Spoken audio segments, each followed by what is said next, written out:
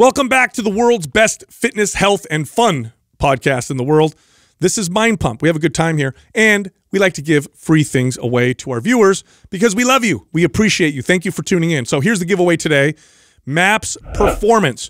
Get free access to a program that teaches you how to train like an athlete so you can look and move like an athlete. You work in different planes of movement, you work on explosive power, speed, stability, and strength. Here's how you can enter to win free access to that amazing program.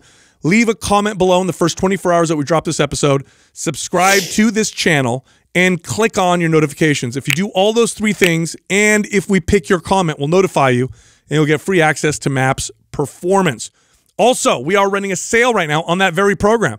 So MAPS Performance is 50% off. We also have a 50% off sale on another program, MAPS Aesthetic. This one's more bodybuilder inspired. So it's like body sculpting, shaping, building, you know, train like a bodybuilder. That program is 50% off. So if you want to get either program or both, here's what you got to do. For MAPS Performance, go to mapsgreen.com. For MAPS Aesthetic, go to mapsblack.com. And then the 50% off code for both programs is FEB50, FEB50. You'll get half off either program or both programs. Totally up to you. All right, here comes the show. All right, the best fat burning supplement by far is creatine. Oh, oh yeah. I Let's talk like I like that. Yes. I like Fat that. burning. I know where you're going with that. It's true. So there's a huge market for fat burning supplements, and they're largely made up of stimulant based uh, products. And what stimulants do is they obviously make you feel hyped in the short term. What about my pyruvate, bro? Oh God, nobody talks about that anymore. I Remember know. that back in the day? Yeah, yeah. but yeah, they they they they're stimulants, so they get you kind of hyped up in the short term. In the long term, they don't because you start to your body starts to regulate, adjust, and adapt. But in the short term, you get this boost of energy, so it may make you move more. There's also appetite suppressing effects, so that's why sometimes fat burners in the short term can help people lose weight. But I'll argue in the long term, not so great because of the, the the effect they have, the stress response they have in the body. They don't really contribute to muscle building um, for long term health. Not really too many benefits. Creatine, on the other hand, never marketed as a fat burner, but we all know it's a clearly the most effective non hormonal legal muscle building supplement you can take. So indirectly, you are going to burn more body fat in the long term with creatine because more muscle equals faster metabolism, and a faster metabolism is a wonderful thing to have when you're talking about I fat I love I love that. Good old recomp. No, I mean, eh, not to mention it's probably significantly cheaper than a lot of those fat burning supplements. yes, and healthy Yeah. and good for you. It's got great health properties for the brain. works. It's good for the brain. It's got great properties for the heart. They're now starting to use it uh, with the aging population to prevent atrophy. Yeah. It's Cognitive benefits. arthritis benefits. Vegans, yeah. It's it's a it's a great supplement. It's been around for a while. It's the most studied, one of the most studied supplements. And it's a indirectly it will help with fat burning. Just like resistance training is a great fat burning tool when it comes to exercise, even though it burns less calories than other forms of exercise, and it's all through that muscle building process. Now, I want to tell you what. So, when I used to tell my clients to stay away from fat burners and that they're a waste of money, the thing that I would tell them is that they they're a stimulant, and if you've ever felt yourself eat, you know, drink, you know, extra caffeine than, uh, uh, on a day or whatever with that, Yeah. how you know antsy you are and how active you are. You Yeah. just you tend to get up more. You're tapping your hands. You're doing stuff. And most of the studies and research around any of these fat burners that show any sort of positive benefits towards fat burning are directly connected to the just the, how much you move more because you yeah are. right Yeah. is that not true or what That's- are that's part I mean, of it. that and then the appetite suppressant Appetite suppressant, yeah, I mean other than that like there's the, the other benefits that they try and tout are just not worth Yeah, it. they'll show studies like more like more fat uh, mobilization and whatever. But when you look at the actual studies on fat loss, you do in a short term sometimes see an effect. In the long term, I don't think there's a great effect. In fact, in my experience with clients who did use fat burners, there was always a strong rebound, right? Because when you're on them for you know 10 to 12 weeks, you get this appetite suppressing effect. You get this kind of hyper energy. Um, it starts to wear off. You're going to go off at some point because you can't just keep ramping up your stimulants, uh, you know, forever.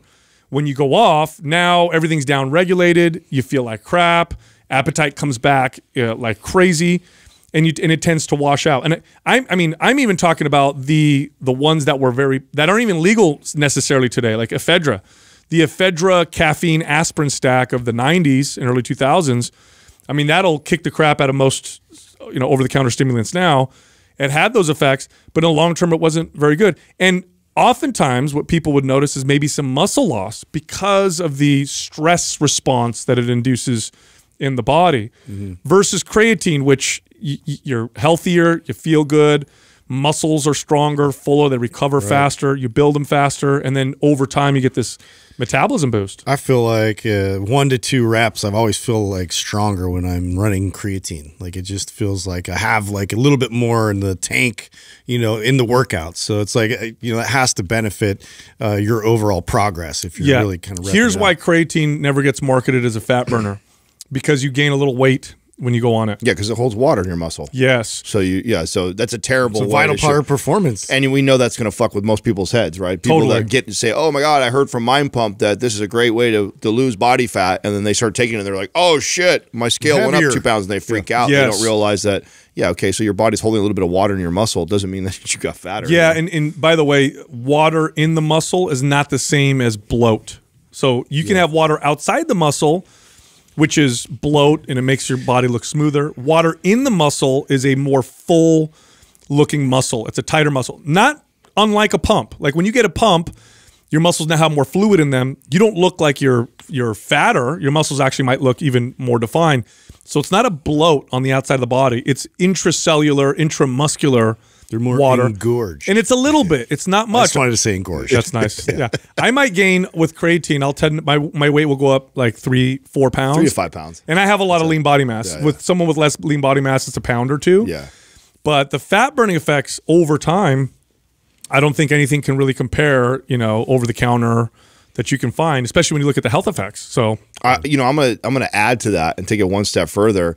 I, I would agree with you that I I think creatine creatine is a superior fat burning supplement for those reasons. And then I would even say the next you know series or types of supplements that would be even better than fat burners would be actually just assessing and seeing what nutrients you're lacking. oh yeah. So you know, are you are you getting enough magnesium in your diet? Like, are you getting enough vitamin D? Are you getting enough vitamin? D? Are you are you missing in some of these vital nutrients, uh, or are you low than Uh-huh. lower than average?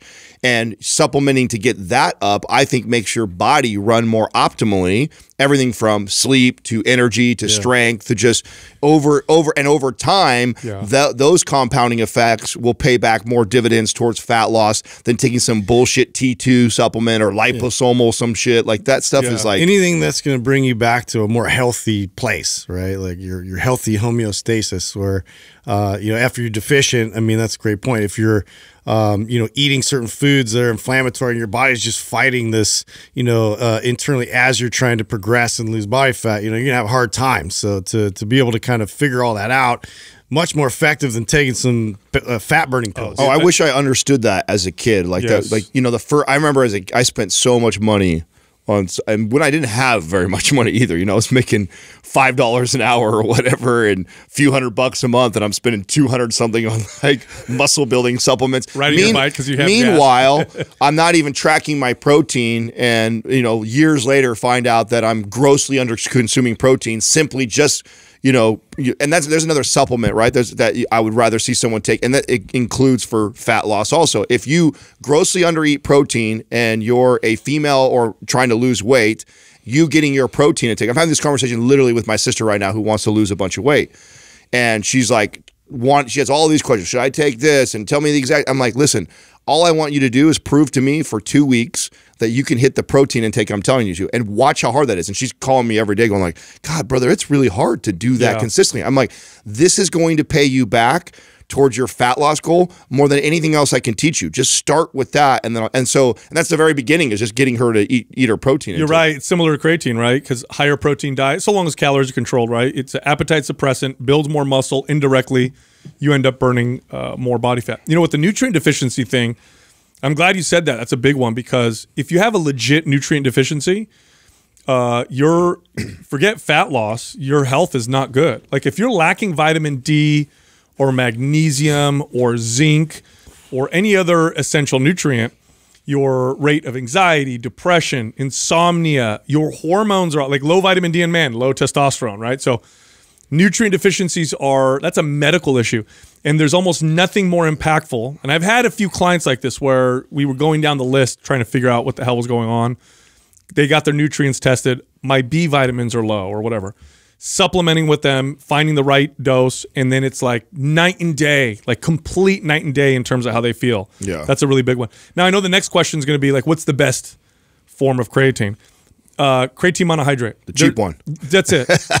that's the one that's Joe- studied. No other form of creatine has been Yeah. shown to be better. So you have to explain, Kate, because Everything I else is marketing, right? By Yes. yeah, by this, and there's lots of it around creatine, and Yes. and it's and it's and it's continued to evolve and change. And I guarantee there's somebody on here right now that's probably shouting at their their phone or whatever like that. Whoa, what about this? Like I've heard this. The delivery system on this is so much. I work better. at GNC. Oh, Yeah. well, or that, or they sell a creatine that they and the the reason why that has exploded all the different types and delivery systems is because the margins have gotten so shitty in creatine. Creatine is so widely known; it's actually pretty easy to get. It's relatively inexpensive.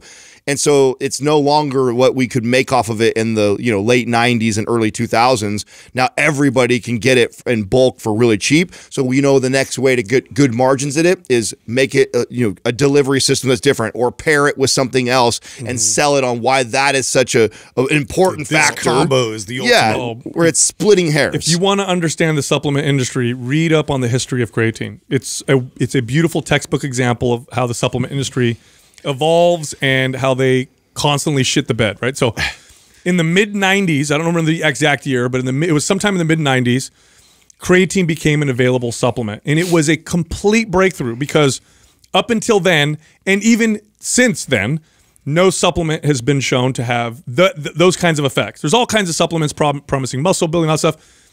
Nothing actually works like creatine does. You take it and 90% of people that take it are going to notice an incredible effect so in the mid 90s i believe it was and it was bill phillips company eas was one of the first ones to market it this is no joke so this is like 90 I want to say 95, 96, probably when I first started taking it. A 100 gram bottle of creatine monohydrate. So it was a small bottle, EAS, $45 in the mid 90s. it's how much it costs.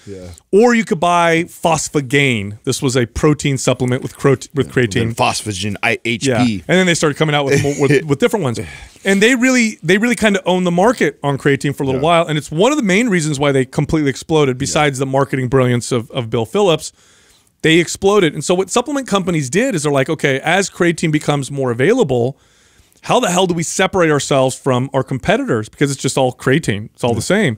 So they first started competing with delivery systems. So this company over here is like dextrose, got to have dextrose, and then this one over mm-hmm. here, mm-hmm. you know, is is talking about oh this other thing that you got to take with it, and it's carnitine and it's whatever. So they started competing with that first. Then they came out with different versions of creatine. Creatine citrate, throw it in water, it fizzes up. This is better absorption. Oh. It's not, right? All these different forms coming out. This one prevents the bloat that comes from creatine because what they did is they worked off of the false myth around creatine causing bloat in, in a lot of people. And the truth is, they've studied all of them. None of them are more efficacious than creatine monohydrate. In fact, creatine monohydrate usually is the most efficacious one. At the very best, they're about the same if they have a different version. So there's nothing that's better. It's the most studied. It's also least expensive. Yeah. So really, and what in powder, just get creatine monohydrate powder, pure plain powder. It doesn't need to be micronized, although that's fine if it's easier for you to swallow than the gritty, you know, powder. It doesn't need to be put in a tablet, but if you prefer it that way, you could take it that way. It's inexpensive. What you want is just something that's got third-party testing to make sure that it's pure, because supplement companies can sometimes be Pixie dirty. dust it, right? Yeah, or mm-hmm. just be dirty. Like you'll you'll have heavy metals or or something like that in there. But that's pretty much it. And and so they try to find ways to compete with each other by coming up with a new marketing angle. And maybe it's a different, you know, we we bound it with an amino acid. We did this, we did that to increase it. None of it, none of it works. And by the way, I love that you use that as like this is a great like history lesson for people around supplements Yes. because protein has followed that same pattern. Yes. Pre-workouts had followed that same Very pattern. It's like we take a couple things that we learn that are oh this there's some value to this. Yep. Like people should How do you put a twist on it now? yeah, now now and and then every and the first few people that figure it out and sell it make millions and millions, sometimes probably billions of dollars. And then then the market gets flooded with everybody trying to jump on it like and then now it's like okay, how do we separate and differentiate ourselves from the other, the guy next door who's selling the exact same product for about the same price or maybe even a little bit cheaper? I've got to throw some other things in it. I've got to sell the idea that that's so important. It's like it's it's so one unfortunate. Of, one of my favorites. I never. I'll never forget this. I had a female trainer that worked for me, and I we were talking one day about supplements, and I was telling her about creatine, and she's like, "Okay, you know, I think I'll get some." And she comes in, and she's like, "I got creatine, but I got the one for women." I'm like what? and she, I swear to God, it was this. I don't remember the name. I wish I knew the name because I'd love to make fun of this company. It was a pink bottle, Yeah, it's because it's pink, right? and it Yeah, said creatine without the bloat. Shreds did that bullshit, dude. Wow. Creatine They did without the, same- bloat. They did, they 'Cause- did that for protein powder. protein powder for men, protein powder for women. Here's a whole load of bullshit. Yeah. Yeah. And, okay, you know what? You know what? Ninety nine percent of them do too, right? Because it, it's the same thing the multivitamin does. Yeah. And the multivitamin, Throw a little iron. iron, extra iron. That's it. They Yeah. put a little more iron in it, and then they throw it in a pink label and month. say it's Throw some iron. Yeah, Yeah, yeah, that's it's- exact. That's an that's all the have, difference yeah. of a, a woman's multivitamin, a men's multivitamin is a woman's multivitamin has a higher dose of iron inside of it. That is it. And then you do the same thing with a protein powder. It's like, oh, there's a protein powder for women. Why? Because we we bumped an extra 500 milligrams of freaking iron inside there. So Mm-hmm. Now we say it's for women. Yeah, you know what they'll do in the men's one, like men's multivitamin with you know lycopene for your prostate or some shit. You know, Yeah, So- yeah, so, but no, it- it's Like, thanks. It's completely true. Plain powder, it, the bloat thing, that's a myth. Uh, if it causes digestive distress, that's different. Very small percentage of people might notice digestive issues with creatine, but it's very small. It's like less than 10 percent. You will gain a couple pounds. It's not body fat. It's literally intracellular, intramuscular water. That's a good thing. That's what you want. Uh, you will get stronger. You you nailed it on the head, Justin. The average person, uh, it's not it's not steroids. You're not going to all of a sudden you know have these crazy gains, but you'll gain about five pounds or two reps on most of your lifts. I, that's a, average. I think that's a great way to do it. noticed. That- well, isn't what's happening? It, it's it's speeding up the the the, the way your body re- replenishes ATP and ADP, and right? it causes and it, your body So- has more ATP. So I used to. I know this is not scientifically correct, but this is the way I would explain it to clients to get my point across. Is I'd say, imagine you have a hundred of these energy molecules, ADP and ATP, a hundred of them before you do your set. When you do your set, your body uses twenty of those. Mm-hmm. When you rest between sets, your body replenishes, let's say, fifteen to eighteen of those. That's why as, as the workout goes on, you get a little weaker, a little weaker because it's you know you're you're constantly depleting, and then it's not quite replenishing all of it back. Damn, he's a closer. When you're on creatine, okay, and by the way, it's on sale this month for My pump creatine. I like how you said there was no science. in this. Man, I wish we had that. right to Uh, but by the by, you know, so then it replenishes. Okay, when you're on creatine, and I said that you know, or without creatine, your body naturally replenishes on the rest period. I said. 18 of those molecules it now does 19 right Yeah. or 19 and a half or whatever so it's you know as it depletes it's just replenishing a little bit that little bit more of energy per set the way it translates into one more rep or two more reps Now the So- now the reality is it's more like you normally have hundred of these ATP molecules, and because you supplement with creatine, you have 150. So your your stores are higher, and because of the intracellular, intramuscular fluid or water, they believe that to be one of the reasons why you see faster recover and faster muscle growth. Hmm. So you are stronger because you have more muscle energy, and you do gain a little bit of water inside your muscles but through that process, your muscles actually build faster over time. And creatine also is now being discovered. Well, not now being discovered. There's lots of studies that show this, but now you're going to start to see it get marketed as a health and wellness supplement, improving cognition, reducing arthritis, you know, arthritic pain, uh, heart uh, health. Like this is a, a supplement that was ad- advertised to hardcore bodybuilders, you know, 20 or 30 years ago, whatever. So Yeah. Yeah. really exciting Pretty stuff. trippy. Well, I Yeah. know you've been. You were. Did you talk about? Uh, I know you've been doing this. I brought it up on the last episode. You've been talking to some of our partners. I know um, Organifi has been one of the partners you're talking to. Did you guys even talk about potentially doing creatine or anything like that? I know they don't offer that. Not yet. really. I can't really talk about what we discussed uh, in regards to, you know, p- you know, potentially creating new supplements uh, moving forward. You can't even hint for us. Not even a little bit. No, not really. Like, yeah, it's a secret. It is a It's a secret. We're, we're trying to look at all the all the gray market stuff we could still throw in there before you know. He's still. I mean, at was, life. I'm was- just kidding. Was Yeah. creatine even on the table? Leg, was it something you guys discussed at all, or no? No, not really. Um, we didn't talk about it. I like creatine a lot, but I also think it's ubiquitous. It's inexpensive, and I mean, Yeah, you could do it, and you know, whatever. But We're not gonna get rich doing it. No, I mean, I, I- I think exactly. I, I- that's why they come up with so many different crazy,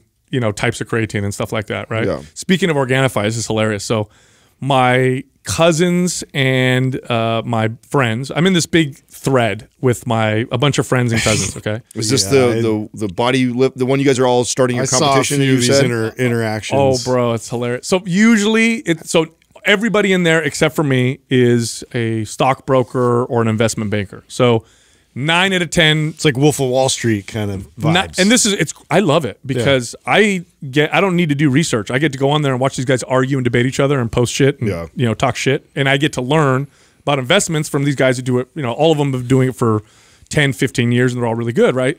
So usually it's a it's a it's filled with investment stuff, shit talking along those lines like, "Oh, you you know, the stock you picked, you only made this much, look how much." And it's great. That's a good time, right? but the other day they're on there, and my cousin Alex goes on there, and he goes, uh, and he starts to challenge, uh, you know, one of the, one of the guys in there for a weight loss challenge. Hey, let's see who can lose the most. I don't remember how it started. They were talking shit about how fat, you know, you're fat. No, you're fat. Whatever. So, That's how it always starts. oh yeah. So then they get on there and they're like, yeah, well, let's do this weight loss challenge. How are we going to do it? This and that. So of course I'm waiting for them to call me in there. Okay. Now keep in mind these fuckers. I've given them all workouts and nutrition advice 150,000 times. Yeah. All and just they've done they've they'll do it and then stop doing it. So I'm just annoyed at this point. Don't ask me for help anymore. Yeah. So of course, I, sure enough, Sal, what's a good metric? How should we measure who wins? Like what's going on? So I'm like, all right, dude, I'm gonna just I'm gonna let him have it. So I said, you sure? You, I'm like, you sure you guys want to do this? Because it's gonna I'm gonna make I'm gonna make it ugly. I'm not gonna be nice about this anymore. And I started Now saying, you're in my world. and I, and I started I can't put too much in the stock conversation, but I got a lot no, of this. actually, the first hour was me arguing with them and saying, "I'm not going to help you because you guys are failures. I'm uh-huh. sorry. You guys fail all the Take time." Take away clothes on them? Oh, Yeah. bro, oh, you guys aren't ready. You're not ready. ripping them. Right? Remember, these are my family and close friends. So I'm just ripping them about it, and you know, and they're like, "What should we do?" So finally, I- we agreed, and I said, "Okay, here's what you do: take a picture now, take a right, and you're going to take the same picture again later. Take a picture now, post it." And then 90 days from now, take another picture, and then everybody in the group is going to say who wins. And so we're going to be able to make fun of each other the whole time. So this is what they agreed on. So my buddy Eric is doing it. Dom, my buddy Dominic's doing it. My cousin Giuseppe is doing it. They're all kind of jumping in and doing this thing, talking hellish shit. They're talking crap to my cousin, who's my age, right? Because a lot of these guys are younger. Oh, you're old now. You can't do that. So then I told my cousin, my cousin, I said, Sep, you know, it's, him and him and I are real close. I'm like, you need to show these kids what time it is. Show them Yeah. why they don't poke the old lion. You know. So he's all getting hyped up. So do you know like each one of their strategies in terms of their their weight training and their nutrition? Well, Are I'm- they Wait, not how did even, that have to do with telling you Organifi? Oh no, I'm Yeah. gonna tell you. No, no. Oh, he was like, what does that have to do with Organifi? So then finally, finally today, we're getting there. No, no, so it's we're getting there. So it's a So day. that was a terrible commercial. I know. No, no, you remind.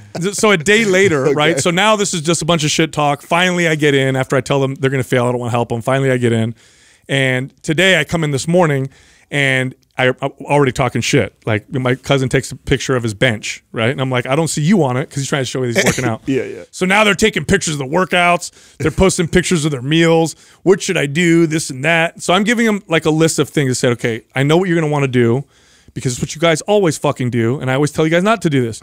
Do not go and just go do a shit ton of cardio and just stop eating because you will 100% Yeah, rebound. You're not going to last. It's going to be terrible. You'll Your lose average muscle. person, that's like the the button just. Yeah, I'm like, here's what you do. So I'm giving them kind of examples of workouts, telling them with diet. I'm saying don't get too crazy with your diet. Just stick to this kind of stuff here. And then they're like, supplements. What about supplements? Like, try and get everything from food. And then I'm like, and, and look, if you guys want supplements, and I shouldn't have said this because I opened the floodgates. Even though they're all wealthy as shit, they're all still, you know, Would you offer, our, they're all do you offer our protein powder? yeah, that's that's that's that's the confession. So the, and, and they're all they're all children of immigrants, right? So they're all although they're all very wealthy and successful, they're They'll all pass fuck. up free shit. Yeah, dude. So I'm like, listen, you guys can come to Mind Pump headquarters. I said I got a whole back room. They'll drive all the way here and waste gas just to get a free. Oh yeah, dude. From San powder. Yeah. Francisco, from Why Sacramento. does that make sense? So I'm like, I got a whole back room full of like Organifi supplements. So I'm like, you know, here's what you can do. So now everybody's like, green juice, red juice. I'm gonna take a protein powder. I said, okay, it's gonna help if you miss your targets with your food, but you got to do the food first. But now they're jazzed, right? Everybody wants to do the Organifi supplement stack. All that stuff. So I'll, I I already and I told them, but I got their permission because last time I brought them up on the show, I got a bunch of heat because everybody was like, "Don't talk about me on that, whatever." So I said, listen, I'm going to call you guys out on my show. That's why I said everybody's name, put a little pressure on you guys. If you guys want free supplements, this is what's going to happen. So I'm going to give some updates That's the now. deal. I'm going to give updates now on, on what's going on. So, but I, you know, it's fun. This kind of shit's fun for me. I have a blast with it. Obviously, I'm working out this morning. I'm a little extra angry because it gets me in the mood to, Yeah. you know, to kick ass or whatever. I'm sending pictures of the music I'm listening to, and they're like, "That's that's devil You music." know, you know, it's funny. You're bringing up something that actually I was just talking to Katrina the other day about. Like, I'm having a really hard. There's something that I made a deal with myself that I was gonna, when you know, when I reached this certain milestone, I was gonna reward myself, and I'm having a really hard time uh, buying it for myself. And I'm like, what do you want to buy? so it's it's a, it's like the it's the final watch that I I, I said. Oh, wait a minute. The final. yeah, yeah, it's the final one. It's like a boss.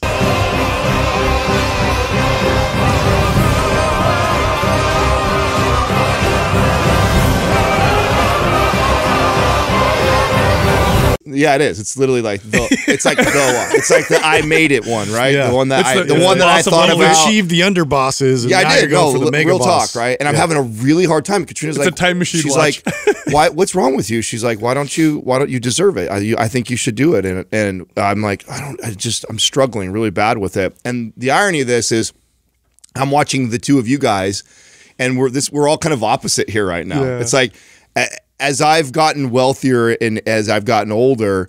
I've become more and more of a miser about with spending Yeah. money at all. And then I'm watching you over here who's like, hey, you'd be so proud of me. Yesterday I spent this on a bed and I- Yeah. I got Jessica a purse and like Justin's like, hey, you'd be proud of me the other day. Like I could have done this w- labor and work and I hired somebody else to do it and stuff like that. Yeah. So you guys are going You've that had all way. the influence on us. I know. I'm going the other way right You know now. why? It's uh, it's uh, kind of funny. You know what it is? It's uh, we're all getting a more healthy relationship with uh, with money. So, and you know, it's like balance in both right? directions, right? It's I- you guys are probably a little more on this extreme. We were two I was over probably here. a little more extreme, and we're kind of We're all coming in the middle. Yeah, it's kind of it is. That's what I think. That's what I'm trying to like wrap my because brain you around. have you have a lot of like you know really nice watches that are very that are value that are quite valuable. So I can get why you would be a little bit you know Yeah. So I'm I'm just well, it was really this was a uh, again a, a, a goal that I set a long time ago, um, and and thought okay if I if I get to this place, this is when I'll reward me with this watch that I always wanted, and you know I got there. And what's I think what's eating away at me was.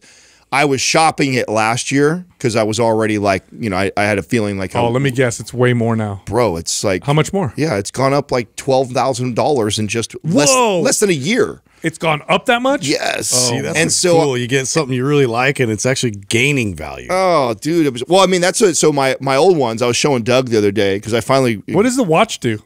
What does it do? Yeah. it doesn't do For that one. It What that tells time, do? bro. It tells time. It tells That watch time. do, Adam. I mean, uh, Does it transport you or something? it's it's Dude, check out my watch. It's got a laser. Hey, I tell you what, Ah, though, you know, uh, because I was obviously uh, in the market and I've been looking, so I, I went down the rabbit hole of kind of like I, every once in a while, every couple years, I check up on my. So I had I've I had my first one in 2010, my second one was 2012, and so I, I pulled those up just to look, and I, I think I sent it over to Doug. I was Dude, show- they hold the show- they they build value. yeah, so I bought uh I bought that Daytona um back in 2010. That was my first one, uh, and I bought that at 18.5. You as long, as long as you have the box and papers, which of course I do for all of mine. Uh, used, worn, that same exact model. I found it for the the high end was 29, the low end was 25. Holy cow! Yeah, for and that's used, right? Used, worn. I saw some people selling it with no no box, no papers, and still more than what I paid Wow. for. So cool that you could, uh, you know, have something like that that you could wear uh, for a long It's time. really the only, I guess, acceptable uh, jewelry for men, right? Like mean, women, It's the only women one will I wear, would wear. I'll be well, honest. well, women will wear Besides you know ring. diamond rings and, and, I mean, and if, we're- necklaces. and if you're stuff. an you know, athlete or a rapper, it's pretty common. Well, to that's what I mean, but I say earrings and the, and the necklaces with the Yeah. yeah. you know, it'd be funny. Could you imagine if I roll in Hey. one day? This is fucking. what if I came This in? is like a time the capsule. big old later, di- diamond we- yeah, fucking- Yeah. l- later, we just have like our whole entire arm is like covered Oh. with bracelets and like we look know, like I'm Johnny gonna, Depp. I'm gonna dude, come in one day and be like, you know, I didn't want to watch Adam, but check out my anklet. This thing's twenty five thousand. it's got rubies on. you know what though in this in this uh, inflationary market that we've been in you know this these last couple years uh, i mean we're always in one right whether it's 2% or 7% or whatever that but in Yeah, seven percent. yeah, yeah, yeah, quote unquote, right? Uh, but I mean, I guess I understand a little more because I used to like really talk shit about somebody that would have like a million dollars in jewelry. But shit, a million dollars in if if you bought a million dollars in jewelry just ten years ago, you're better off with that. If you had a million dollars in a savings account that was earning you two or three percent. Yeah, You'd be losing money. Yeah, yeah, that's what I'm saying. Like, it, I know. so I mean, how can I talk too much Crazy shit? part of the And that's the same thing as like my watch. You know what I'm saying? Yeah. Just it's just not my style to wear a big old. You know what's funny? you know, so when, when we went to go buy the necklace. I can see you with one of those big old chains. I know. dude, Maybe- like maybe a Andrew big could A put one on right me. Could you put one on me? Like. Yeah. Big old. it's got to rotate though. I want. one- I like. I want to make Yeah, a diamond face of Sal that I would uh, wear. wow, you'd my wear me on there? I Wow. would. Big old just to diamond rub it face. in. Yeah. Hey, look at this, Sal. go go sleep. Sal's number one. Okay, hold on. That that totally segues me in. So Okay. um, so it, it was the funniest and like cutest thing ever, right? So Your boy? Everett like comes up to me and so he he just stops and he's like, "Dad, are you famous?" What? And I was like, "Oh, I mean, I don't think so, but you know, I appreciate that. Like, thank you, buddy. Like, where?" And and he asked me because he has a specific project at school. He has to like, you know, write about something and like have. But the qualifications are, you know, you have to have X amount of, um, I think it's like um, significance and like followers and whatever, but also have to have a book. And I was like, well, I mean, Sal has a book. And he's like, Sal's famous. And then he's like, So he's gonna write a thing. Is he gonna write a? like a moment for me, and Sal took it again. oh, Sal! no, I'm just kidding. man. Is he gonna write a report then on him, or was he gonna I do? told him to, but I think he's he yeah he's He's uh, not interested he's gonna be anymore? picking somebody else. Shut up. He's like, No, I uh, told him to. I'm like Sal's famous. Oh, Wait, what are those qualifications? Because you have to write it. That's so hilarious. okay, how okay, so that's crazy, right? So kids now, when they do papers on that, the teachers now would because that think about that for a second. That would never like we all did that. I did. I wrote papers on like famous people at one point, Okay. like as a, uh-huh. as a kid. But obviously, this was before social media time. Oh, so I know- that's that- why. Like that's a qualification. yeah, because you like, can't just pick some TikTok star. I think that's probably why they did it. oh, oh, you mean with the book also? Yes. Oh, okay. Yeah. Yeah. Oh, Well, you have to actually be tied to somewhat of like you went to school. I think. You know? Is that what it is? Like, Yeah, Yeah. Not just like the Island Boys. You can't just pick some and I've random been trying dumbasses. Dude, my daughter, that's so you remind me. I just forgot about it. My daughter comes home from school and she's like got this big smile. I'm like, what's so funny? And she goes, uh, I had my friends Google you the other day. And so, of course, what pops up are like some of my flexing pictures and shit. And her friends are like, that's your dad? And she's like, yeah, that's my Yeah. dad. He's kind of strong. yeah, my dad could beat up your dad. I'm like, he didn't say that. She's like, yeah, he did. I'm like, oh no. Like, it's okay. You can tell the truth. Imagine you get into like school dance, you get in a fight because your daughter. Actually, actually, one of the dads. kick your dad's No, no, ass. I can't remember his name. I damn, I feel like an asshole. One of the dads used to be a Greco-Roman alternate for the Olympics and fought as a pro MMA fighter. So it's like, I was like, don't tell her dad. Yeah, yeah, yeah. fuck with- Let's- let's 'cause he'll not, kick my uh, ass, dude. yeah. He's a really, Let's not mess with that. yeah, one. he's a really Dude, great guy. speaking of speaking of our kids, so uh, this happened yesterday at Max's school. Uh, Katrina called me on my way home, and she's like, "Oh, guess what our son did today?" I said, "Uh oh, what happened?" She goes, "Oh, I guess at that school, the uh, the teachers he he was outside playing, and uh, he's now at this age, right? So he he uh, stuck his hand down his diaper." And it was full of poop, and he brought, he brought it to the teacher and said, "Poo poo." Here's the evidence. yeah, so- Oh. And then he tried to like wipe his hand in the dirt to clean it, and they're like, "No, no, no." So it's like, Oh my God. so he's now okay. So the the phase I'm in right now Oh, is um, he he will try and repeat almost everything I say, and maybe he hits you know it, at about thirty percent to 50 Mm-hmm. percent. You know what I'm saying as far as the the, the being able to say it clearly. Uh, but he'll try, so I can get him and say, "Say light, say book, say door," Oh, that's and he and he's trying to say it. You know, and some of them like he like he doesn't do M's very well, so certain letters he can do really good. Um, but that's where he's at right now. Is he's putting together and so funny, like because every once in a while he'll do something. He the other the other morning was Saturday morning. Where Katrina and I were trying to sleep in, and he he comes crawling up uh, on the bed. And uh, her and I are like, just you know, give him, give him like the, give him the iPad for a little bit so we can sleep for another half hour or whatever.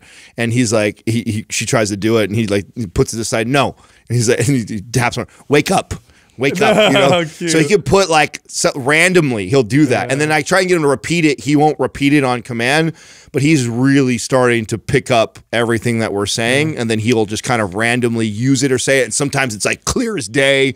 Other Mm. times you can't get him to say it. So you know what's really weird about that? So you know how kids will learn a word, but then they'll say it kind of weird, but you'll know because Right. you'll know what they're trying to say, Right. and because you understand the English language. That's where he's at right now. Yeah, and some and you understand the English language, so certain words, even though they say them wrong, you kind of piece it together. Yeah. Okay, so Jessica has been teaching uh, Aurelius sign language along with you know obviously English, Mm-hmm. and it's great because he it's like it's the it's the same thing as learning a new language, right? So he'll do a sign and then he'll try to say it sometimes, or sometimes he'll just do the sign. But what he's done for the last like it's been like four or five weeks now. There's a sign that he does, and we don't know what the hell he's trying to say. So so I'll show you what they are. So there's one for food, which is this. Right. He puts his hands like this. This is And for- then- this is more. Yeah, that's more, and then this is outside, and then uh, there's a bunch of a bunch of other Drink, ones. that- right. Yeah. So and so he'll come up to me, he'll look at me, and he'll do this. He'll do this with his hand. He'll go. So he just like, he put one finger on, and look at me like this. I'm like, what are you what are you trying to say, buddy? I'm like, what, Jessica? What's he trying to say? She's like, I don't Daddy's know. talking too much. That's No, what that I think is. so, yeah. that's what that is. Yeah. I see quiet. Doug do it every once in a while. Yeah. Mm, well, no. What's what's even what's hilarious, and now okay, this, this fun, funny part of the story is we figured it out five weeks or four weeks later. But anyway, he'll mm. come up to me and he'll grab my face, like like look at me, Dad, and then he'll go. He'll do this, and I'm like, I don't know what you're trying to say. So I'll just uh, he must want something, so I'll just give him whatever. what- We figured out what he's trying to say. He's trying to say water.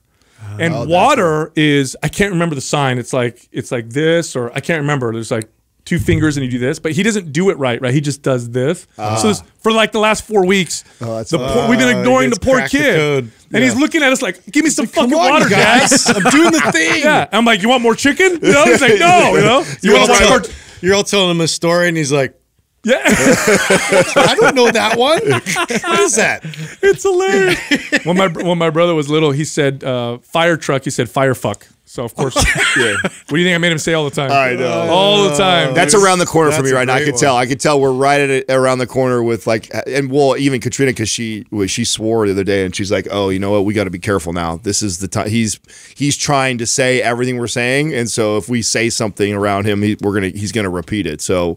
That's what we're entering in right now. So he's, he's fun, man. Right now, Just it's a- wait, a dude. really cool, because really what cool the challenge is when they say something like inappropriate, you can't laugh or make a big deal. Yeah. Because then they just say it all the time. Yeah. You know what I mean? So you just gotta act like nothing. They get excited, and yeah. oh, it's funny. That's like that story. Okay, like so when when Courtney was we were up in uh, Tahoe, I believe, uh, with our event that we were throwing, and she was there uh, with the kids, and they're talking.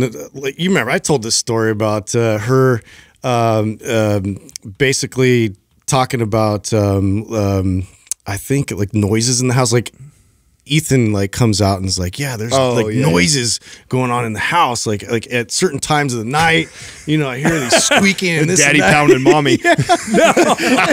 and then and he's like, it's like, "Ugh, ugh," and like everybody just lost their shit, right? And so he's just like, he's like, he's excited. That was about a it. He's like, dinner. "Ugh, ugh," and he like got like crazy with it. That was- everybody's just dying. He did that. So this was one of the first times. He said it that only happens for 10 seconds. when we went, remember when we went to uh, Olympic Village, right? When we went up to Squaw Valley, like years ago. That was Okay. like four, this was like four or five years ago. It was like the first time Courtney was hanging out with Katrina and all her family. Yeah. Oh. So Larry was there, Katrina, Katrina's mom, and they were all having dinner. Yes. And he, it was Everett, right? Was it Everett or No, Ethan? it was Ethan, Oh, I believe, Ethan. yeah. Ethan's telling the story to everybody at dinner. yes, that's what not happened, knowing yeah. what it is. Yeah, yeah, yeah. And Justin and Courtney are like, yeah, just like first time hanging out with all Katrina's family, stuff like that. And they're Courtney was so embarrassed. Oh, oh, my her god, face it's was so bright red. it's Oh, so shit. great. Yeah, that's he did some, man last night. I melted my heart, dude. Like so, right now I've told you guys like he he we have the the little like um outside lock on the door so and he and we can see him through the camera and like you know every once in a while you put him down and he'll get up he'll walk over he'll check the door and we can now do this like Max get back in bed yeah. well after last night was one of those nights and it's not normal that he'll do that like three or four, normally he does it one time we tell him and then Yeah. like he's out every once in a while he'll do it multiple times and normally when he does it multiple times something's up either maybe he went to the bathroom in his diaper or he's not feeling good or something and so he had last night it was a couple times like that thought i'll go in there hon. I'll, I'll go i'll go check on him. And i go walking in there and he's all right open the door. And it's always so so cute and funny because he knows he's not supposed to be up. And i always open the door and he you know he kind of looks at me and then he, he puts his head down and then he like puts his hand his hand out to grab my hand and and we know we walk back to bed and then I put him mm. back there. And we go walking back but this time he stops and he, he looks at the rocking chair and he sit down sit down. Oh, no. And he wants How me to sit down. And he sits down and he climbs up at me and then he like nuzzles his head into my shoulder. I'm like, oh, you Oh, he got you. Yeah, you got me, dude. yeah. Like, especially since like he's at that age now where I don't rock him. I used to rock him to sleep all the time. Well, that's been gone now for almost a year, right? So uh-huh. he's. Do you get it now when you see old pictures of him already, where you, it makes you emotional? Oh yeah, I mean there was because it's like that that version of him is not. It's gone. Well, the side that I remember, I used to say how much it drove me crazy that I had to lay around all day and watch TV with him stuff. But then there's the other side of that that was so great. Like it, I remember during football, like football season this year was different than football season that year, as he would sleep on me. I'd watch the games on the couch and he'd just sleep on my chest the whole time, and it would be wake up, get fed, back on my chest. Dad watches football. Or now, like I can't get him to sit and watch football with Oh, me. He's playing his toys, so I miss all that No. Aurelius does this thing right now where he gets he'll get super frustrated, and if I try to do something, he'll like try to squeeze my face just instinctively, like he's upset, and then I'll look and I'll be like, "Ow," and then he'll look at me and he'll grab my face like this, and he goes, "Papa," and then he kisses me. Oh man, Now, are you do Do you do you and, and do you guys do this too? I'm curious. Do you guys like when you guys see things in the kid, like point out who he gets it from? You know, like oh, that's definitely from you. you know, Oh, you, yeah. that behavior or that thing that he's doing, that's definitely coming. You guys do you, you and Jessica do that? Do you guys go back and Um, forth yet with Aurelius like that? Not too much, not yet. Um, he, you know why? Because the when he's young, he likes to talk. He's very affectionate. He likes to hug. and- That's both of us. So so far, there's not like you know something that's really sticking out Mm-hmm. because those things are. I mean, Jessica and I are both very verbal. We're both super empathetic and loving and hugging and kissing and all that stuff. And that's him right now. He just Like he's he is just like me in the mornings. Like his the way he Oh, he's in a is. bad mood? Well, yeah. he don't like to be fucked with for the first half hour or so. Like he is the easiest, Uh-huh. best, like loving, sweet kid ever. But the, he has his, and I feel like I'm the same way. I'm a very easygoing guy, all this stuff. But there's a few things that like just don't fuck that up for me. Like just leave me alone. And he is exactly like that. It doesn't matter. It, it- it- great sleep doesn't matter if it was terrible sleep, where we're at, like just the I morning learned time. that. I learned that on one of our first trips when I woke up and did what I always do to fuck with people, and I was playing loud ass metal music. That'll be hilarious. and Adam walks out, and he, I looked like I ruined your whole day. And I remember being like, "Oh shit, I better About to fight you. You were dude. so mad. dude. I was like, "Oh, sorry, Yeah. man." So it's my- that's I'm my- the same. You don't fuck with me when I'm trying to sleep. Yeah, and he's like that. He's like, and the All right, that's like my one button. And once once I warm up, I have my cup of coffee, and um it's been about a half hour, hour. Then I'm like the happiest guy in the world, right? And he is just like that. It's like you just gotta let him slowly wake up, Yeah. and then he's cool. I feel like you're either one or the other. Uh, you're either like the wake up, super energy, turn the lights on real quick, bright, let's do this, or you're that person. Yep. And they always marry each other. I feel like that's always what ends up happening. You know what I mean? I don't know. Courtney's just like me. Oh, is she uh, really? Yeah, yeah. yeah. oh, you guys are both like that. She's Then. not a morning person. so are the boys like that? Did they both end up with that same kind they're of trait? starting. Well, if the, beforehand they were like they would get up first thing and they're like ready to go. And now Ethan for sure is like the preteen kind of. Oh, like, bro. You know, just like I can't. I have to literally go in there and like rip the sheets and like pull them out. You know. Oh, just wait. I remember when I was a teenage, you know, when I was in my teenage years, I used to be able to sleep in if I wanted to Yeah, like, to, 11 noon. or Yeah, noon. dude. I used to sleep into on weekends. No way I could do that No, now. yeah. No. I if I sleep until noon now, there's something very seriously wrong with my health. When I was a teenager, now it didn't happen very often because nine out of 10 times my dad would do this. He didn't knock. My dad never knocked. Open the door full blast, and this is exactly what we do. Salvatore, go mow the lawn. And he'd walk out. And I'd be like, oh, fuck, I gotta. And he would just leave. Like he didn't. I couldn't say shit back. I had to get up, mow the lawn, six a.m. Okay, Oh, dude, that's I'll go do that. Uh, I don't want to get. You know. You know, I meant to, I, ju- I looked up. I saw that we had a Vuori commercial today too, and I don't. Did you guys get uh, Jerry over the sizes for the girls? yeah, Yeah, for, for Okay. Valentine's. I Yeah, think that's yeah, a, yeah, I wanna make nice sure that we- little tradition we're everyone do that. that. Yeah, yeah. By the Cov- way, I- covers my ass. I've gotten I've gotten um, compliments on Vuori more than any other piece of article of clothing that I've ever worn from peop from random people. Maybe because it's the nicest stuff that you wear on a regular Probably. basis. I didn't even piece that. it's a real, it's a real huge step up, dude. I mean, Yeah, my Yeah. my family's We like, appreciate it My when you wear family's like, you got to say something nice to him right now because he's actually doing something that looks all right. No, people are no. I, people will ask me, "Where'd you get that? That looks really good," or whatever. Jessica really likes it too. She thinks it's very handsome. Athleisure wear. She's like, you Is that how know, she says it? with your, she goes with your with your like your your silver hair and you're wearing your athleisure wear. You just look like a really sexy, older, fit guy. That's Sporty what she says. dad. Yeah, well, yeah. Thank you very much. well, I just love it's so weird that I'm, I I could wear like khaki or like slack type pants and I- I'm like squatting in it, you know, and then I'm like doing everything in the same pants. I mean, it's a beautiful thing for me. I don't have to change. well, isn't it wild that wasn't even a, a, a space? Like just I don't know what When did, when did Lulu hit the scene? Because they were the first to like kind of really break break. That's been the- around for a little while, but it wasn't like men were like Less than your- 20 I was less never than 20 years. in Dude, Lululemon, your dude. options as Lulu a, came around when we were we were trainers before Lulu hit the market. Because I remember vividly when it hit the market. and it I think became we all thing. remember vividly. 2000. 2000. Okay, so and then yeah, they so- had the the mishap where it was like the see See-through? Uh, yeah, yeah. I was like, oh, That's oh you guys Darn. gonna change that? Oh, Yeah, But I mean, but I mean, the, your only options as a man before were y- you wear sweats, and if you're not in the gym, you look like a bum. Like, Well, oh, you- there's that guy that's unemployed. Well, it's interesting. It, you know, talk about a, a shift, a total shift in culture that caused a completely new market Massive. to open up. It was just, I mean, just think about this. In the 50s, it would be so unacceptable to wear something that was like spandecky at Right. all in the day. Like people, Yeah. men wore suits and women wore dresses all the time. Like that was like normal attire. It just wouldn't be socially accepted. Where now it's totally socially acceptable to be in this kind of athleisure wear, this this space, Yep. and it's uh, it's a shift in the culture. Mass- You can wear thongs on the street. Like it's that's where we're at. yeah, well, let's be honest. I, I think you Where can't you wear live, bro? I'm just saying. dude. I wanna get I've a house on it. your block. Come on, you guys don't watch influencers in the wild? It's everywhere. Oh yeah, I found that love page dude before it had ten thousand followers. I know. and that thing I knew it was going to be. I was like, why didn't I think of this? This is such a It's brilliant, brilliant, concept, and people are going to provide you content all day long. I Like, know it's wonderful. it's so good. All right, I want to bring up a couple studies for you guys because I want to throw these in. I don't, I don't want to miss these. So, interesting study came out on uh, THC, the, the the major cannabinoid in marijuana, and monkeys and testosterone production and testicular size. So they gave monkeys THC, and over time they found reductions in the size of their testicles and lower production of testosterone. It's another animal study showing chronic use of THC can lower testosterone, and affect the endocrine system. Gives you BBs. Yes. So, and I know people are like, oh, it doesn't affect testosterone.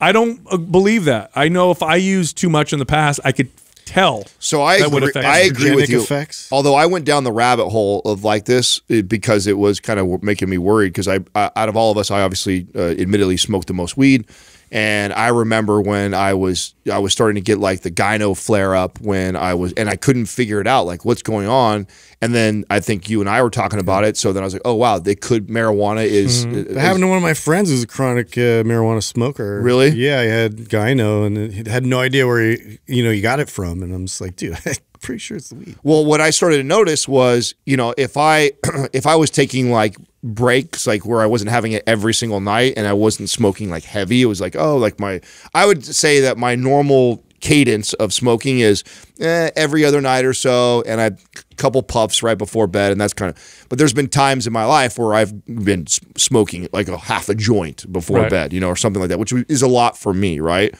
And when it was during those times was when I was doing that, just by me scaling back. So my where I'm heading with like when I started diving deeper is um, I also uh, see or saw that it, when you when you scale back or stop, it comes right back.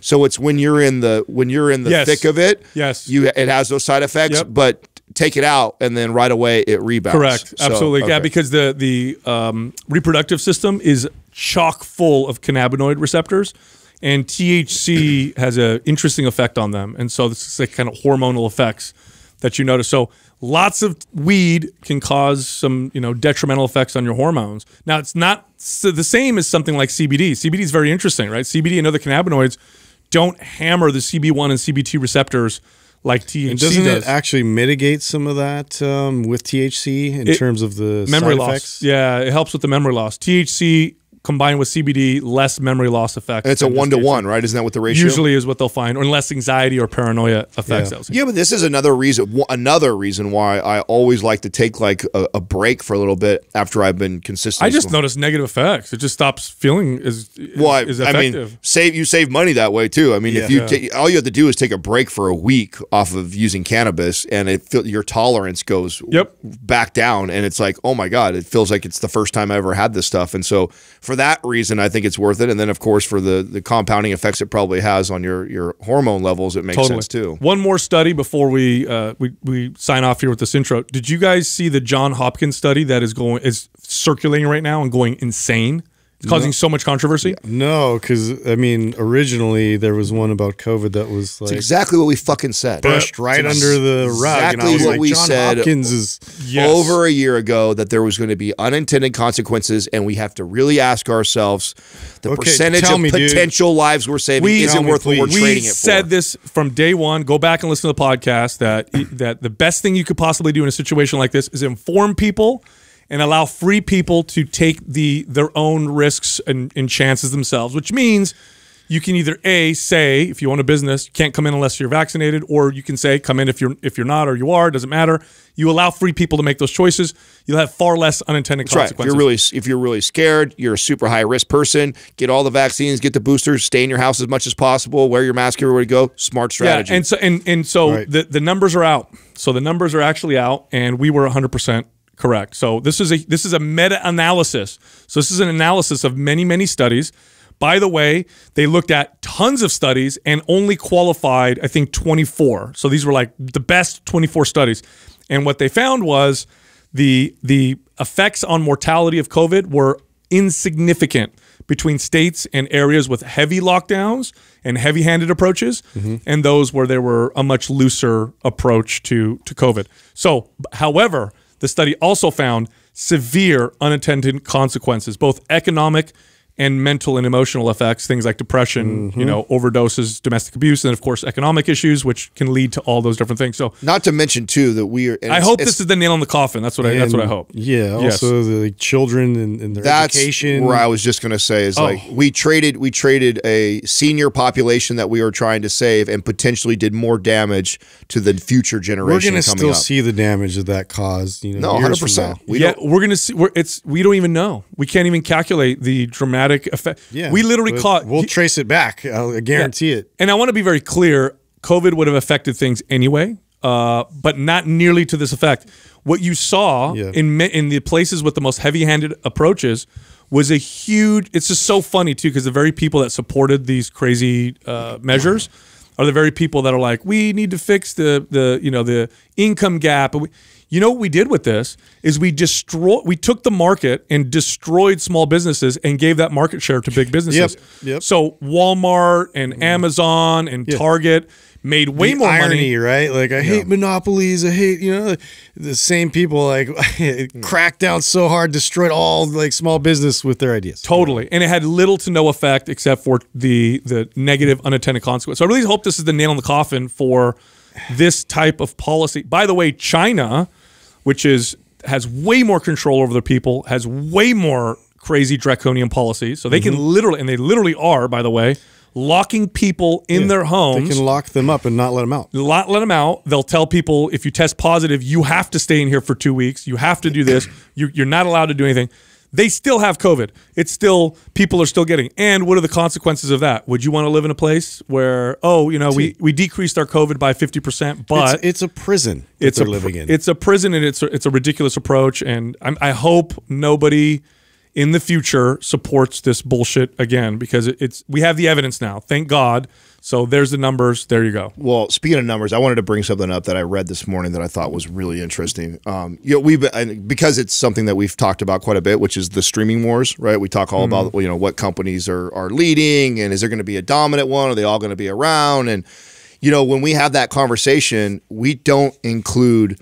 Uh, YouTube in that as we don't think of them as like Oh, a, a streaming service. And this is an art. I'm to read this short little bit from the article I was reading. I think this is in the Hustle. I think I was reading, uh, and I thought this was really interesting. So, Google acquired YouTube for 1.65 billion in 2006, but didn't break out earnings for the streaming service until 2020.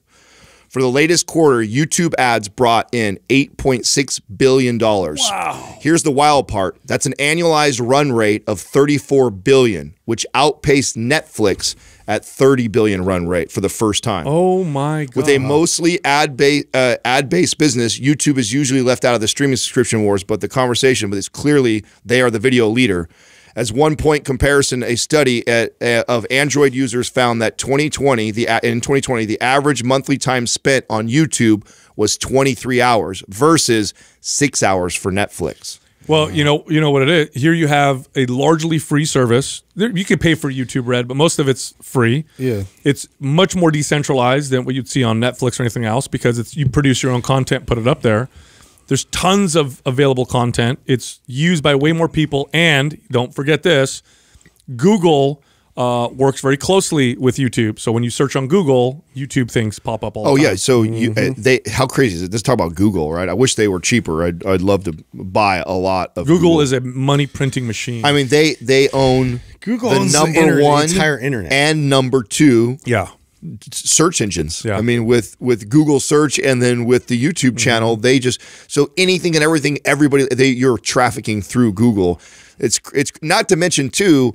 Netflix, in order to to generate that thirty something billion dollars a year, they're spending a tremendous produce and yeah to produce and to make and to be one of the leaders in content producers. Where YouTube is allowing others to do it for them to generate like that. Brilliant. So if they, it's it- you know, I talked about before that I believe that we're going to see a, a monster come swoop up or gobble up uh, a handful or most of these. Like, talk about their them being one of the best positions to potentially do that with the amount of revenue and money they have. They're already generating and the viewers they have. They're the only person who has more eyeballs and attention is Facebook, but it's like neck and neck with with YouTube. Wow. So the power that they have is is You want to know what's funny? I remember uh, when, you, when YouTube was young, I would go on there and look at like fitness people, and I remember thinking to myself, like, God, I wonder if I should get on YouTube. It was a long time ago, and there were like one, like it was one guy, Scooby, I think was his name. He had the top YouTube channel. There was like another guy, Mike. That Asian guy, the, uh, yeah, six yeah, pack Mike Chang. abs.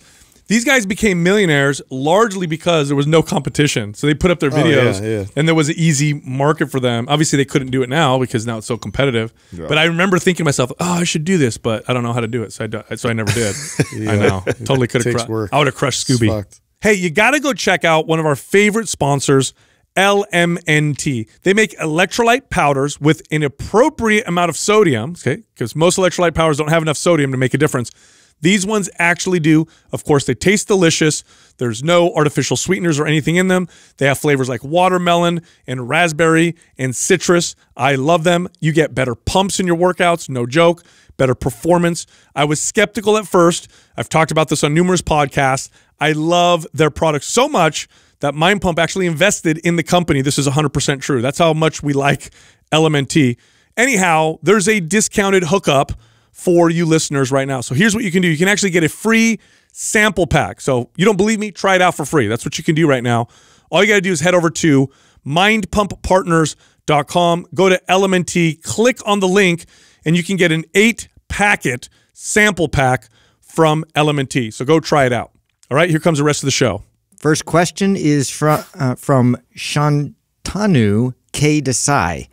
What training frequency should be applied towards stomach vacuums? Can they be done daily, or should there be a few rest days in between? Oh, good old good old fashioned bodybuilder exercise. So Vacuum. daily, man. first of all, the vacuum is a great way to train the the TVA, the transverse abdominis. It's the muscle that sucks in the waist. It's actually one of the few exercises that'll actually shrink your waist if you get those muscles tighter and stronger.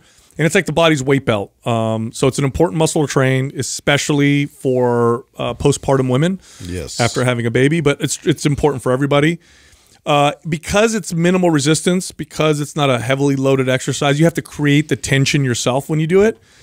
It doesn't create a lot of damage, and you can practice them every single day. And what'll happen over time is you'll get stronger and better at doing them. Yeah. So when you first start them, you may feel a disconnect. It may feel kind of weird, but over time, you'll get stronger and stronger and be able to generate uh, more force with them. But this is one of those few exercises.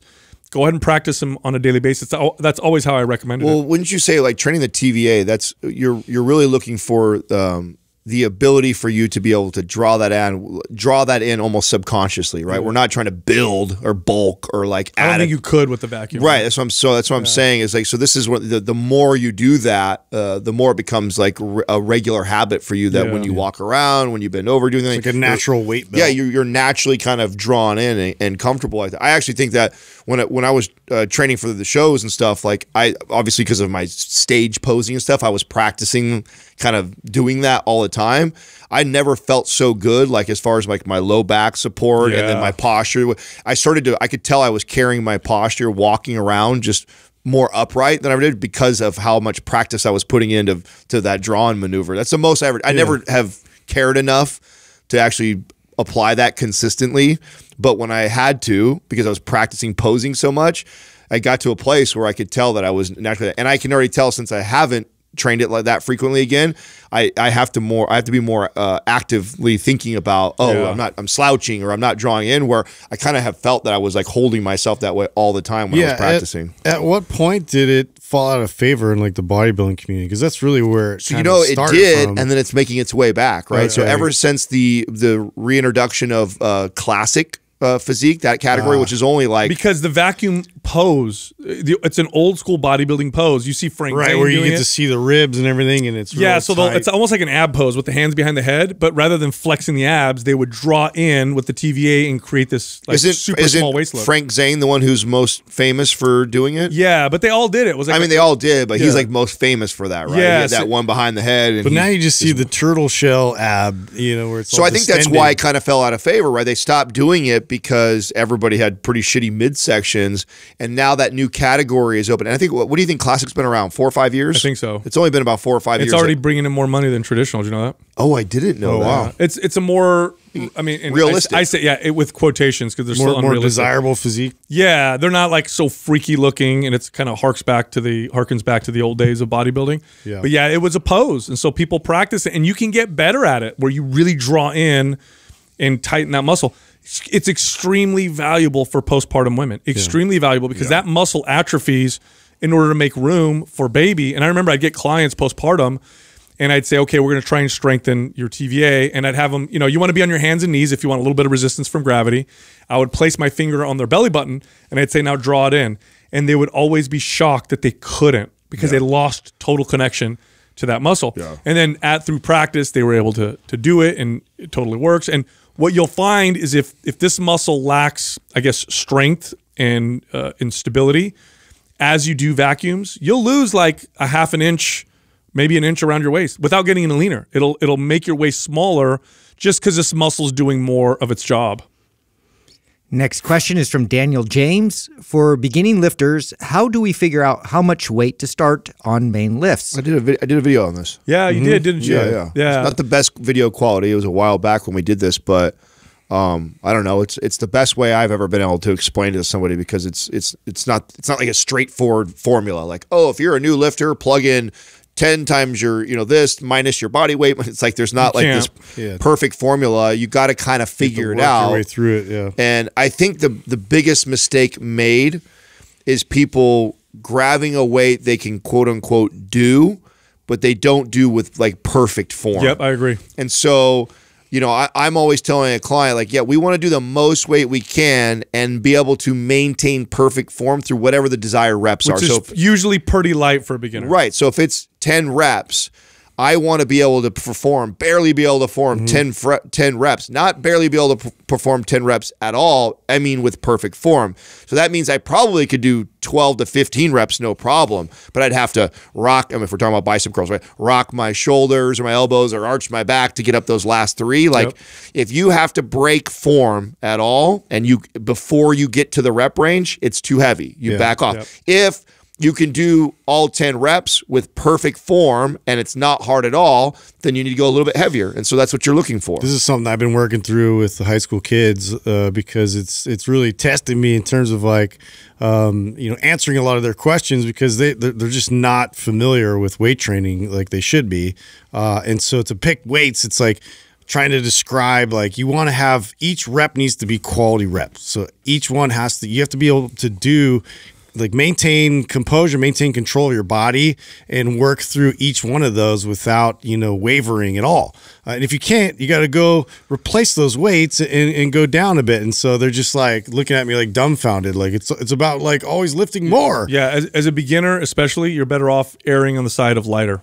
Always. So right. Because you a can always, you can always progress. and you're a beginner anyway. I'm going to tell you something right now. You have If something to build on. Yeah, and if you're de- if you're deconditioned, you don't work out, and you go to the gym, and you're like, I'm going to try doing squats. You do body weight squats, which is more than you do every day. Yeah. You've actually sent a muscle building signal, and you might actually even get sore from doing just body weight squats. I remember back in the day as an early trainer, not realizing that I'd take a beginner, and I'd push them through a crazy workout. And then, of course, I'd get the phone call. Uh, I couldn't walk for you know five days or whatever. But that was way overdoing it, and it only slowed their progress.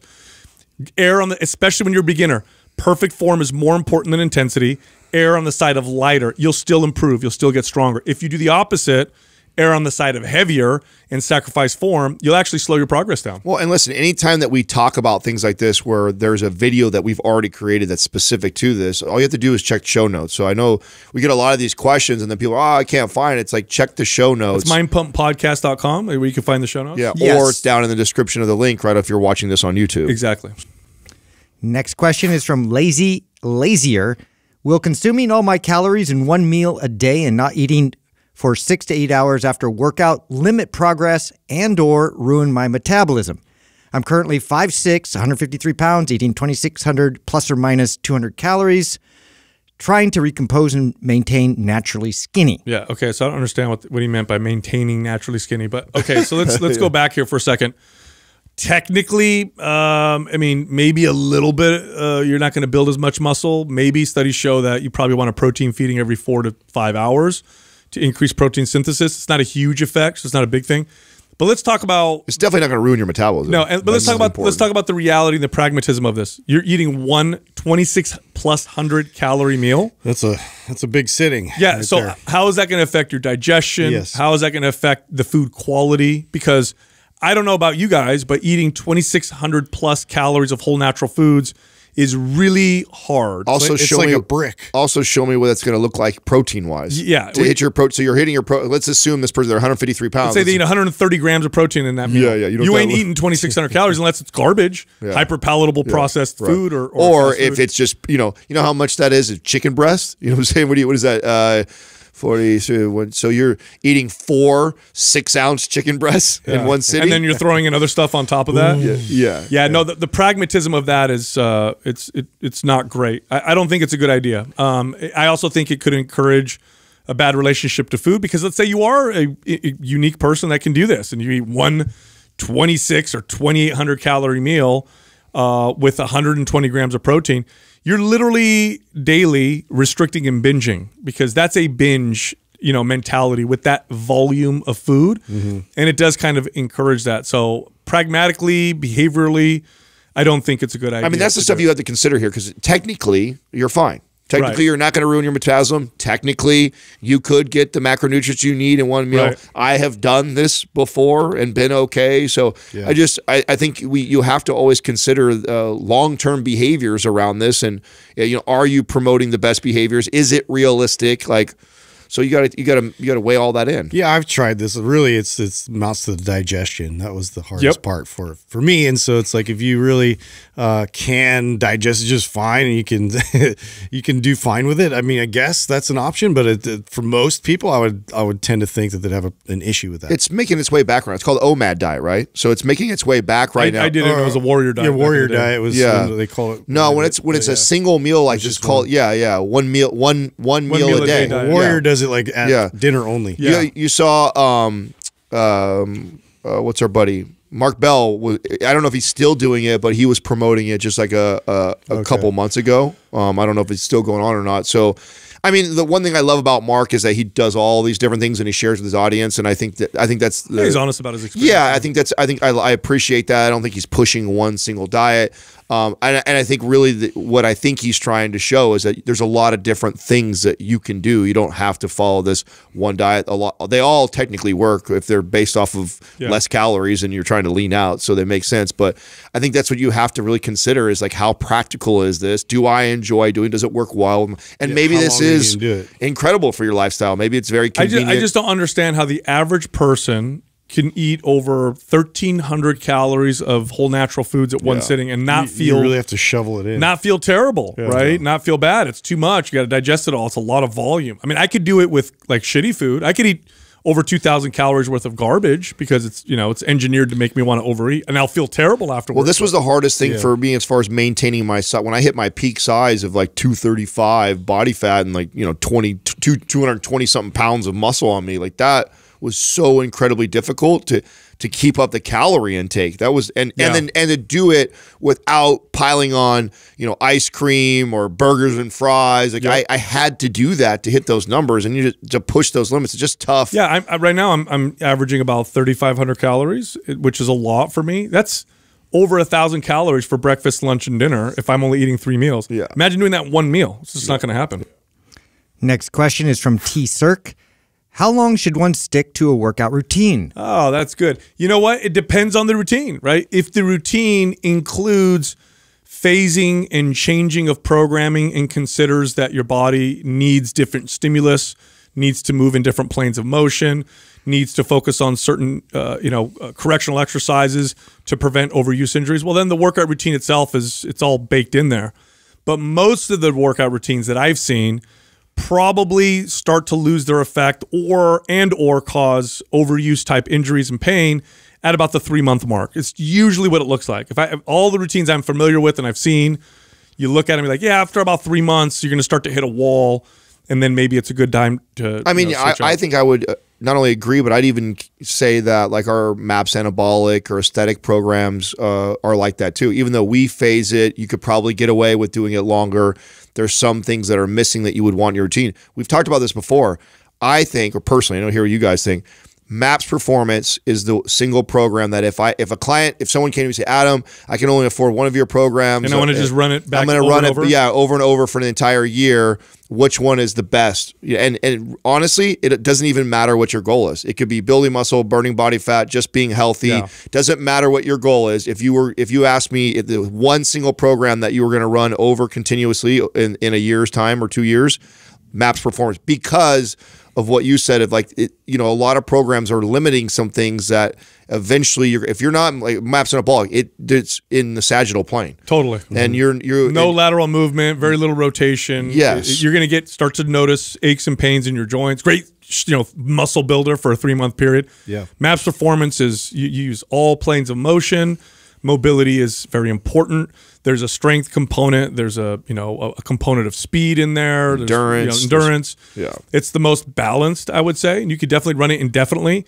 In the short term, is it going to build as much muscle and strength as some of our other programs? No. In the long term, though, it'll win because exactly what you're talking about. Yeah. Well, it's always the one too to to throw in there to interrupt that because you know most most uh, programs are structured that way, very heavy in the sagittal plane and very much you know repeating the same type of stress like over and over and over again, right? And so to interrupt that, you know, helps to kind of create that longevity within you know you achieving uh, where you want to get, but then like continuing that progress. Yeah, I, I, I totally agree. I mean, and of course, the best, you know, uh, combination is just to go through different programs, complete one, do another one. Yeah, that would be. I mean, Yeah. obviously, that's the way we wrote them with that intention is to is to to cycle through all of them and get the, the benefits from it, and you'll get the most benefits. But if I had to, you know, all I can only Yeah, give you indefinitely one, yeah, one. indefinitely one program. Even and the irony of that right, that's not even that's my one of my least favorite of all of our programs, but I know it's one of the most beneficial. That if I if I had to stick to one forever, that would be the smartest one. The to- irony is that the the one program that most viewers and listeners would probably get the most gains and results out of only only because I know most of them are like drawn to bodybuilder style Yeah, maps right. programs. Yeah. is going to be maps performance. I I'd say eight out of ten people watching this right now would do maps performance, and at the end of it, be like, "Holy cow! Yeah. this is totally what I needed." So. Look, if you like our information, head over to mindpumpfree.com and check out our guides. We have guides that can help you with almost any fitness goal. You can also find all of us on Instagram. So Justin is at mindpumpjustin, I'm at mindpumpsal, and Adam is at mindpumpadam.